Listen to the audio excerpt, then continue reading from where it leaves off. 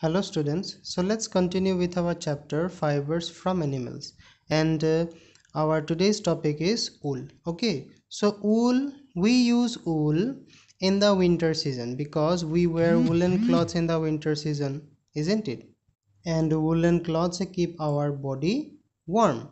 And this wool is obtained from some animals like sheep goat yak camel llama alpaca. Okay. So from these animals the fleece means the hair is cut off from the body of these hairy animals to obtain wool. And this process is known as shearing means cutting off of flesh or removing the flesh or hair from the animal's body is known as shearing. And sheep is the main source of wool. Okay. Sheep breeding so the quality and quantity of wool depend upon the breed of the sheep. Native sheep may not be a may not be of a breed yielding good wool. The good in terms of quality and quantity. So they are crossed with exotic breeds that is those found in other parts of the world which yield better wool. For this purpose a native ewe the female and an exotic ram the male are used. The process is called crossbreeding so the quality and quantity of the native sheep are not so good. So to increase the quality and quantity of the wool, our native sheep are crossbreed or reproduce with some exotic breeds that are brought from the foreign countries. And these breeds are mainly Merino, Rambouillet, Corriedale, Somalia, Dorset, Soviet, etc. Because these breeds like Merino, Rambouillet, Corriedale, Somalia, they produce a high quality and high quantity wool. Okay, so these breeds are crossed or reproduced with our native sheep so that we can get a good quality and quantity wool.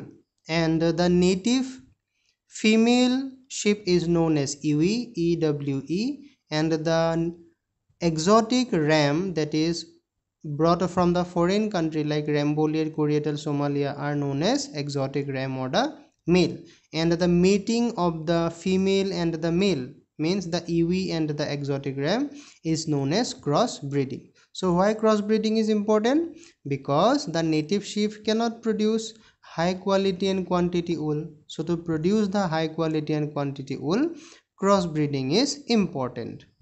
The sheep of some exotic breeds yield large quantities of wool. For example, a Rambouillet can give up to 5.5 kg of wool in a year. You can imagine 5.5 kg of wool they can produce. But if we talk about our Indian breeds, they can produce only 1 kg or hardly 2 kg of wool. So this which is very less. But in case of exotic breeds, they can produce up to 5.5 kg of wool in a year and for the crossbreeding process only healthy rams rams means the male exotic breed only healthy rams are selected for breeding.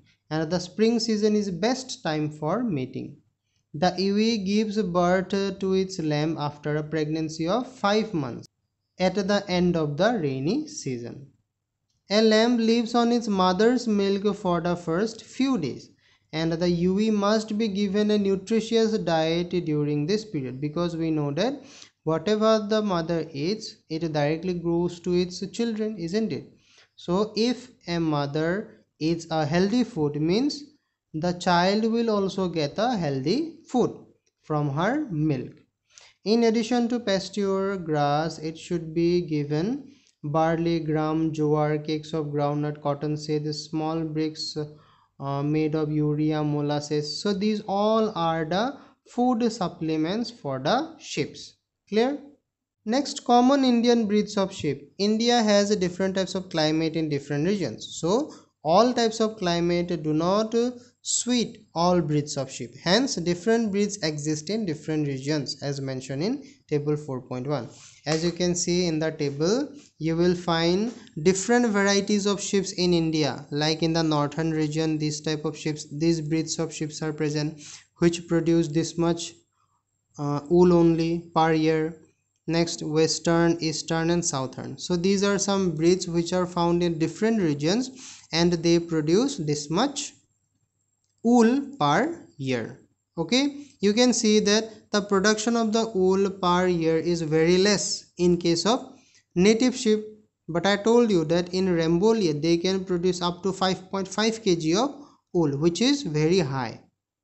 Next sheep farms. So in the northern states of our country several sheep breeders are nomads. Nomads means those who travel from place to place. Means those who do not stay in a single place and travel from place to place okay one one place to another place in the northern states of our country, several sheep breeders are nomads. During summer, they migrate with their sheep to the mountains where pastures are available and on the onset of rains they bring their sheep to the plains or lower hills. You can see that these sheep they contain a lot of hair in their bodies so they cannot survive in the hot environment. So during the summer time these sheep are uh, brought to the mountain regions because in the mountain regions the climate is little cooler. And after that when rainy season arrives the sheep are again brought to the plain or lower hills. However many breeders maintain sheep farms sheep can withstand cold weather due to the wool on their bodies they need warm conditions only during lambing and lamb need it for a few days after their born মানে যেতিয়া শ্বিপবিলাকে নিজৰ পোৱালিবোৰ জন্ম দিয়ে সেইটো টাইমতে সিহঁতক অলপ গৰম লাগে। বাকীবোৰ টাইমত ইমান সিহঁতক গৰম নালাগে। আৰু সিহঁতে যিহেতু ট্ৰেভেল কৰিয়ে থাকে বাট কিছুমানে কি কৰে আকৌ শ্বিপৰ কিছুমান ফাৰ্মো খুলি লয় আৰু সেই ফাৰ্মত সিহঁতক ৰাখে। আৰু ফাৰ্ম খুলিবলৈ ইমান বেছি প্ৰয়োজনো নাই জাষ্ট ওপৰত এখন ধুনীয়াকৈ চালি এখন দি দিলেই হ'ল আৰু টিঙৰে হওক বা খেৰৰে হওক জাষ্ট এটা শ্বেড লাগে। আৰু যেতিয়া সিহঁতে ৰিপ্ৰডিউচ কৰে সেইটো টাইমত সিহঁতক অলপমান ৱাৰ্ম লাগে। So' in the farm simple sheds with only a roof and fencing are generally quite sufficient for the ships. An organized farm has different sheds for shearing, lambing, rearing lambs, and so on. আৰু যিবোৰ farm অলপ organised হয় তাত। Sharing লেম্বি ৰিয়েৰিঙৰ কাৰণে different different shed থাকে। মানে একেটা শ্বেডতে সিহঁতক নাৰাখে বেলেগ বেলেগ জেগাত ৰাখে য'ত শ্বেয়াৰিং কৰা হয় সিহঁতৰ বডিৰ পৰা হেয়াৰটো ৰিমুভ কৰা হয়। তাৰপিছত লেম্বিং কৰা হয় মানে সিহঁতৰ আকৌ নতুন পোৱালি জন্ম দিয়া হয়। চ' তেনেকুৱা ডিফাৰেণ্ট ডিফাৰেণ্ট প্ৰচেছ কৰা হয়। The sheds are cleaned regularly and disinfected with lime and bleaching powder আৰু য'ত শ্বিপ থাকে তাততো মাইক্ৰ' অৰ্গেনিজমছো থাকিব পাৰে। চ' যাতে কোনো ধৰণৰ বেমাৰ আজাৰ নহয় তাৰ কাৰণে ফাৰ্মছবিলাক ৰেগুলাৰলি ডিছইনফেক্টেড কৰি ৰখা হয়। ঠিক আছে with lime and bleaching powder next is shearing so' shearing I told you that shearing means cutting of the fleece from the body of this hairy animals is known a shearing isn't it and in India, sheep are shorn generally twice a year. In hot states, this can be done thrice also. The best season for the purpose are spring and autumn. The animal feels comfortable if shorn in this seasons. Okay, so shearing মানে হ'ল সিহঁতৰ বডিৰ পৰা হেয়াৰটো remove কৰা আৰু বছৰত যেতিয়া hot seasons আহে তেতিয়া হট ষ্টেজবিলাকত বছৰত দুবাৰকৈ সিহঁতৰ বডিৰ পৰা হেয়াৰটো ৰিমুভ কৰা হয় আৰু কেতিয়াবা কেতিয়াবা তিনি তিনিবাৰো কৰা হয় okay and the best season for this shearing purpose is spring and autumn because in this seasons they feel comfortable a couple of days before shearing the animal is washed thoroughly with water in order to remove dirt from the wool. And the wool obtained from such an animal is called washed wool okay? So before the shearing before the removal of the hair the sheep is properly washed. And the wool obtained from these animals is called as washed wool okay? And this shearing is done using a pair of scissors or electrically driven shears bad shearing lowers the price of the wool.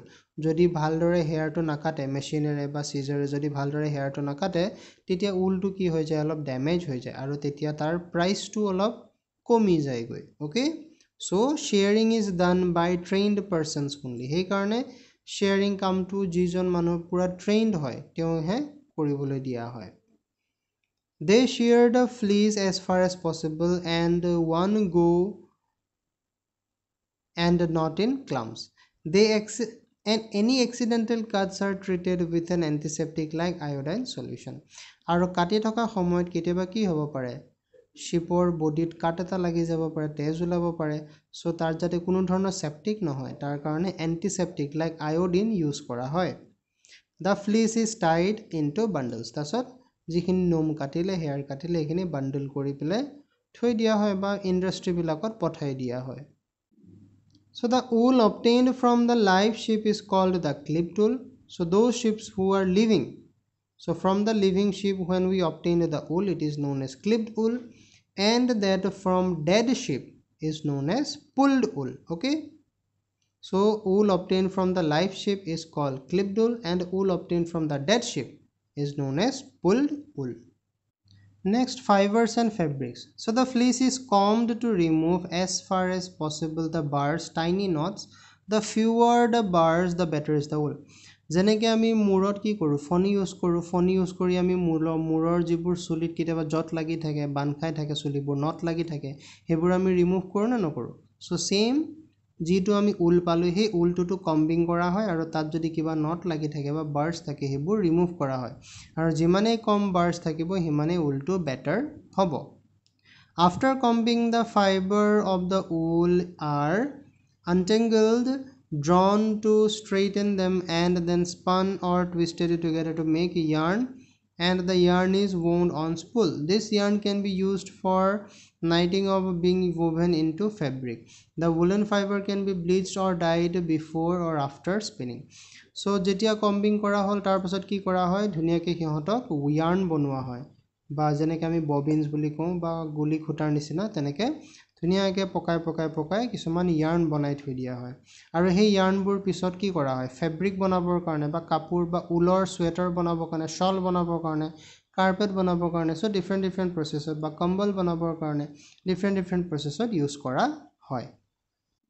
Next quality of wool so' the quality of a given sample of wool is a just using the following criteria so' what are the criteria number one the thinner the fibre the better is the wool ঊল ঊলটো যিমানেই বেছি thin হ'ব সিমানেই better হ'ব number two এ ঊল of চুপেৰিয়ৰ quality is মোৰ ক্ৰিম্পি দেন an inferior ঊল চ' দ'জ ঊল which are very ক্ৰিম্পি or curly they are batter ঊলছ okay the fine ঊল hedge a shorter fibre length four two twelve centimetre then the medium 6 to 17 centimeter and a coarse 10 to 30 centimeter varieties okay so those for those wool fibers which are very shorter. These are 4 to 12 centimeter in length then mediums are 6 to 17 and coarse are 10 to 30 centimeter in varieties so they are found in different different varieties. Physical properties of wool. Wool has the following physical properties. Number one smoothness. So a wool fiber feels smooth to touch. Next is tensile strength it has a very high tensile strength. That is it can bear a great pull without breaking. Means you can stretch the wool but it would not break very easily.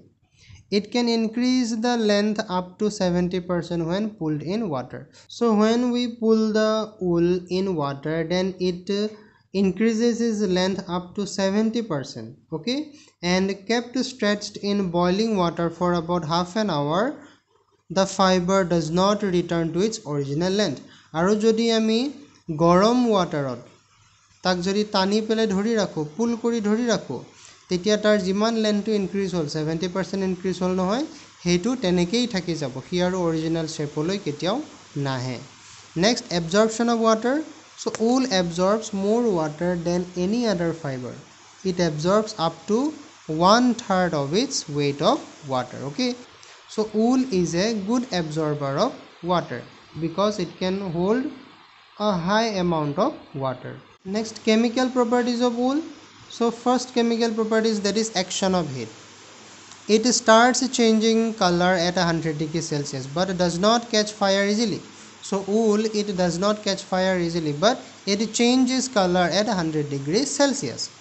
It also becomes yellowish when left in hot humid atmosphere for a long time so humid means humid atmosphere means those atmospheres in where in which water content is high or water vapor is high. So if you keep the wool in hot or humid places for a long time then it becomes yellowish.